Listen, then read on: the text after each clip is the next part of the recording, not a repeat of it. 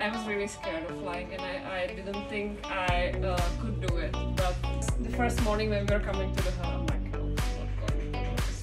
Just, this is not possible. And then I started through your uh, perfect guidance. I really want to thank all of you how kind you are and how you guide us all through because it's just amazing